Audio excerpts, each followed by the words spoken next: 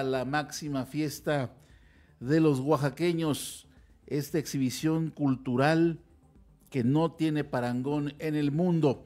Y para ello, aprecio que nos tome la comunicación Saimi Pineda Velasco, secretaria de Turismo. Saimi, ¿qué tal? Buenas tardes, ¿cómo estás? Hola, buenas tardes, Taré. Buenas tardes a toda la gente que nos escucha a través de este portal informativo. Aprecio que me tomes la comunicación, Saimi. Cuéntanos de qué va esta preventa y cómo se organiza para evitar lo que siempre es el coco de todos los espectáculos, la reventa. Sí, la verdad que es un poquito complicado poder saber quiénes de los que están formados desde ya dos días, pues son personas que tal vez vienen a comprar los boletos y revenderlos. Hoy vamos a sacar una difusión y, promover la no reventa, incluso estamos coordinando esfuerzos con la boletera para detectar aquellos boletos que pudieran poner en algunas plataformas digitales o en redes sociales para que esos boletos que estén revendiendo y, no estén dando el precio correcto serán dados de baja. Es la única manera porque eh, no puedo yo solicitarle a la ciudadanía que viene a comprar un boleto pues de dónde es, por qué viene a comprar este, bueno, de hecho nada más están comprando dos boletos por persona, pero eh, me han estado comunicando que este, pues que se tiene eh, el tema, este, pues eh, la gente no está participando, me refiero a los visitantes, los turistas, ellos están comprando a través de los portales que se, ya, ya se terminó el 15% del boletaje vía digital este a con cualquier banco. Entonces ahorita vimos ya una fila muy grande de gente que está viniendo a comprar estos boletos. De hecho el corte de los boletos hasta el día de hoy 600 son 600 boletos en físico y en línea se acabó en 20 minutos. De hecho fue récord. En 20 minutos se acabó eh, el día de hoy la venta en física eh, eh, y ahorita solamente nos quedan 600 boletos para la venta. Eh, la mecánica del día de hoy es que se dieron fichas, 500 fichas, y solamente podían comprar dos boletos por persona. Decirte que en la preventa, este, el costo de los accesos en preventa más cargos por servicio es de 1.366 pesos para el palco A y 1.079 pesos para el palco B.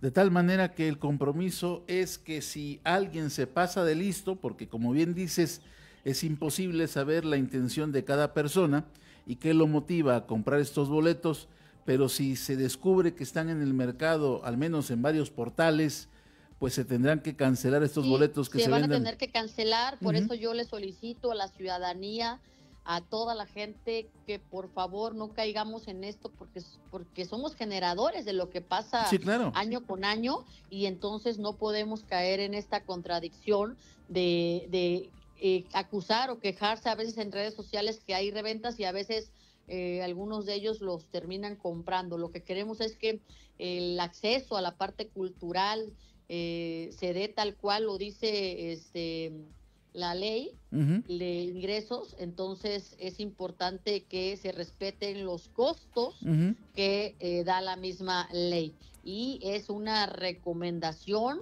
por favor, a que no compren estos boletos en reventa y estaremos monitoreando para que se den de baja estos boletos que tengan un precio que no es el que dice el boleto. Coincido contigo, si hay oferta, si hay demanda, pues también habrá oferta. Preguntarte, Saimi, ¿cómo avanza la organización de esta festividad? Cuéntanos. Bueno, decirte que estamos avanzando en esta edición número 92 de la máxima fiesta de Oaxaca, un evento que ha traspasado fronteras y que en esta ocasión se ve representado en la imagen oficial denominada Calenda de la Hermandad del autor mixteco Óscar Aparicio Mendoza.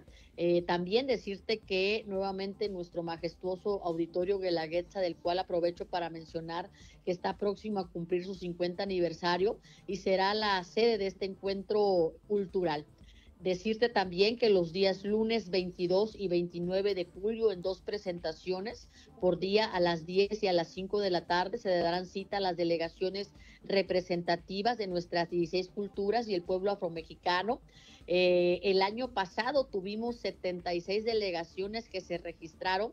Hoy tenemos registradas 100 delegaciones. Agradecemos mucho nuestros consejos interculturales que han estado trabajando en las ocho regiones para poder evaluar eh, a estas delegaciones y que puedan subir a este auditorio a mostrar la grandeza cultural, dancística de nuestra música y, e indumentaria, así como la costumbre y las tradiciones de cada uno de nuestros municipios.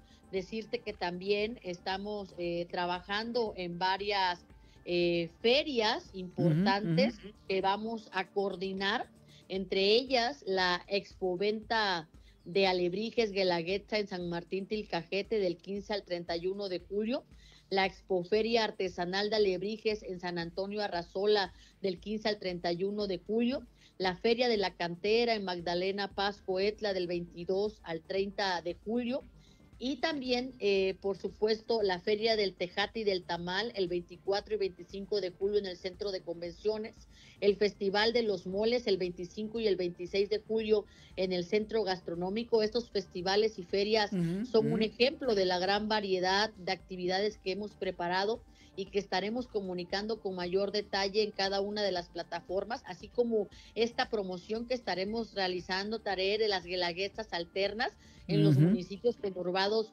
de nuestra ciudad capital. Estamos a 68 días del primer lunes del cerro, pero julio está a la vuelta de la esquina. Nuestras comunidades están preparando para dar lo mejor de sí a través de la delegación que representarán.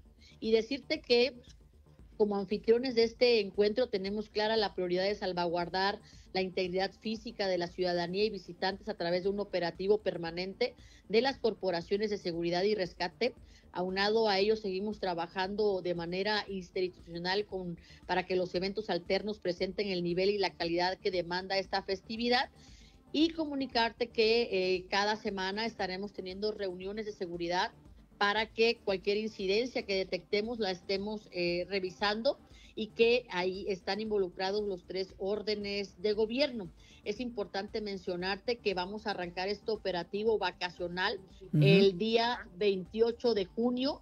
Se arranca el operativo vacacional para poder darle eh, pues esta seguridad y atención a la ciudadanía, no solamente en valles centrales, sino en la región de la costa, en todas las regiones, donde tenemos vocación, donde tenemos estos municipios con vocación turística, pero también es importante mencionar que el primero de julio vamos a arrancar todo lo que lo relacionado a nuestra Guelaguetza con la inauguración del el sendero a nuestras ocho regiones a las 10 de la mañana, donde el objetivo de este sendero a las ocho regiones son estas estatuas monumentales, donde vienen representadas nuestras mujeres de las ocho regiones y que esto da otra otro producto turístico para que la gente pueda recorrer estas calles que hoy son peatonales. Pero también se suma un proyecto que se llama Nubes de Colores, donde está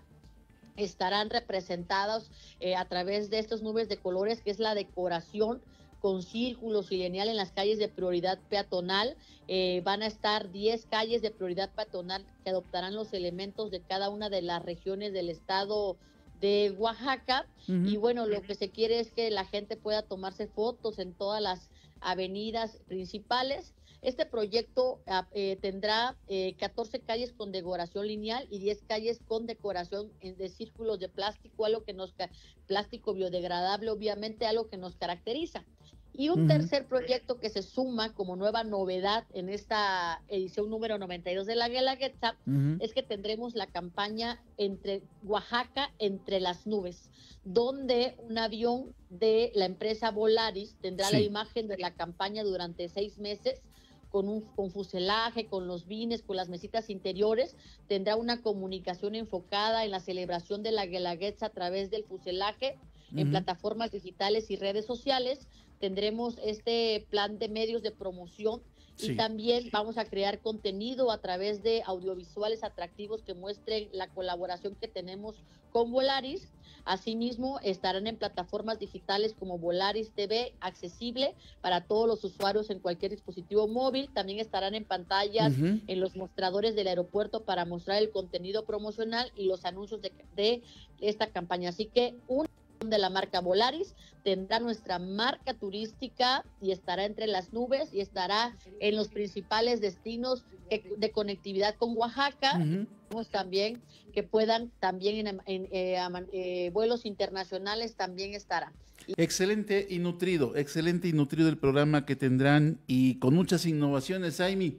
Quedamos pendientes de, de darle seguimiento a este tema porque esta es la fiesta más grande en México y es el corazón cultural Oaxaca de nuestro país. Gracias. Muchas gracias. Hasta luego. Hasta luego. Es Aimi Pineda Velasco, secretaria de Turismo.